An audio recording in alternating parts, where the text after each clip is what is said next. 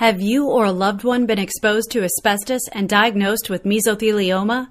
Do you have legal questions? Should you hire an attorney? Do you even qualify for compensation and how to file?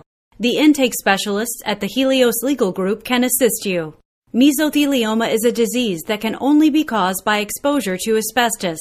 Even families of exposure victims are at risk from secondary exposure. 10,000 Americans die each year from asbestos related diseases. Many people silently suffer from the effects of asbestos exposure, and yet there are billions of dollars set aside to compensate asbestos victims and their families.